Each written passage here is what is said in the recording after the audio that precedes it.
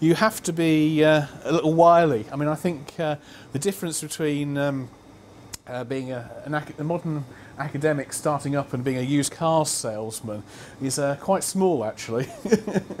you have to be really quite uh, um, innovative. Okay, the deal of the century. Well, if we compare with here, this wonderful, nice new piece of equipment, which costed over £100,000 um, and came with full service contracts and everything, with, um, well, let's start with this.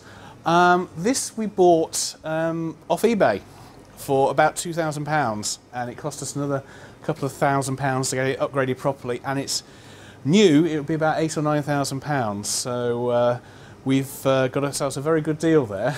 You look happy with yourself. I'm very happy with myself. Uh, it's just an utterly bog standard piece of equipment. Uh, to the more technically minding, a scanning UV spectrometer. Uh, but, uh, and desperately, we needed one anyway, um, but we didn't have £8,000. But it came with a nice deal. It came with uh, a couple of these, which are for protein purification, and better than that, uh, they'd also packed in free for us because they needed to get rid of them.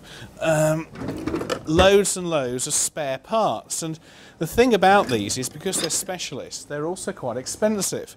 So this is uh, this type of column body here, new is about three or four hundred pounds, and we've got about seven or eight of them. So uh, the four thousand pounds it cost us.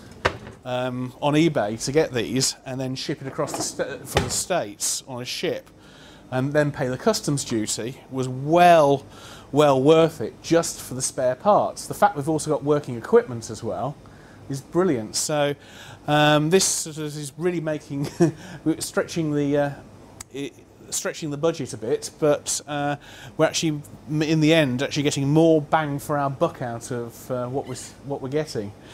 Um, I had to bid and uh, although I got all these immediately, um, this one went up from £600, which would be an absolute peach of a deal, to just over 2000 um, which was uh, a real pain, to say the least, because uh, I, you know, getting this for 600 quid would have been fantastic. But, you know, um, we've still got it for essentially a nice new one for half price.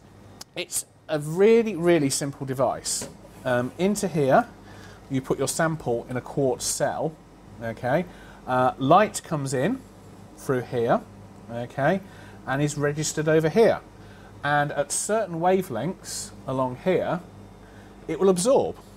Okay, so proteins absorb about 280 nanometers in a peak. Um, and from that, you can work out their concentration. So it's nothing stunning, right? But it means that we can very accurately work out our concentrations. I think it's going to be a one-off uh, at the moment. Uh, I, I mean, it was it was such a hassle getting it into the country. Um, um, you have to deal with Her Majesty's Customs. You have to have a port of arrival and all these sort of things. Um, as far as I know, I'm the only one I know who's actually done this. I was chatting to a colleague of mine at Warwick, and he giggled horrendously and has told everybody. So every time the reps for these new pieces of equipment come round, I go, "Yeah, we've heard of you." Yeah, you're the guy, guy that bought them off eBay, aren't you? I saved an absolute fortune, and what's what's more, we've got loads and loads of work done in the meantime on the six months since we bought it, which, um, as we still haven't been funded for a new one yet, uh, we wouldn't have been able to do.